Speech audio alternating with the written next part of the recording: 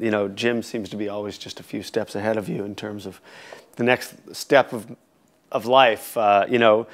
Uh, through marriage and through fatherhood, like you got married on TV first. Mm-hmm. Yeah, you got yeah, married. yeah. You had kids on TV. Now Yeah. you know I don't, you don't have kids yet, but I'm sure that time's coming four. up. I have four. Um, is it odd to go through life like uh, you know with these changes that happen first as a character and then do you in real life? It is so bizarre. You know, I never really thought about it while we were shooting sort of the lead up and and and uh, you know the unrequited love stuff. I definitely could connect to that because there were I I wasn't the most successful in love as far as like uh, you know high school and college and stuff. I was always the kid who just like adored a girl and they'd be like, "You are such a good friend. Sign my yearbook," and I was like, "You got it." And it was like hearts and like hopefully we'll be love Yeah, exactly, exactly. We'll be friends forever.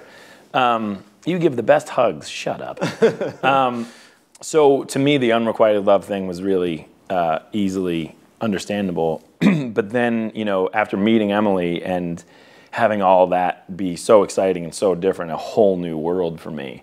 Then the show locked into this very weird sort of parallel universe thing, and I'll never forget giving the um, rehearsal dinner speech in the show where I say how much I love this girl, like I definitely got choked up because it was just all sort of like smashing into each other at the same time because at the time I knew I was going to propose to Emily, but the world didn't. So I was like doing this rehearsal speech and being like, eh, and my brain was like, can I just get a five second timeout?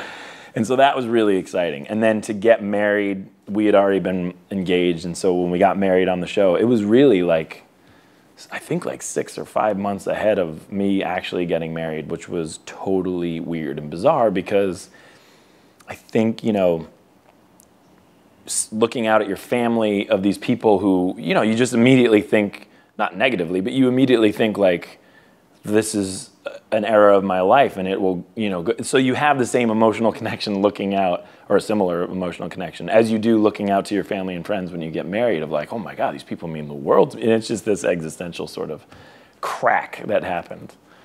Except you get to do it over and over Yes. until you get it right. Yes. And And you and you were at my wedding. You saw how much of an existential crack it was.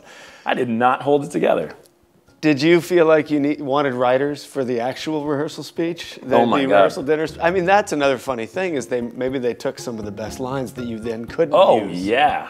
Oh my God. I wish I could have looked to camera on my wedding day, but um, no. I mean, it was one of those things where it just you you have gone through this extremely romantic experience, and you're just dying to hope that your real life experience will be half as good, just half as good.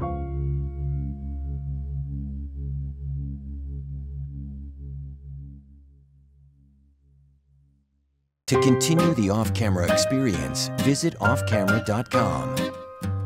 Get full access to additional content, podcasts, and the Off Camera magazine.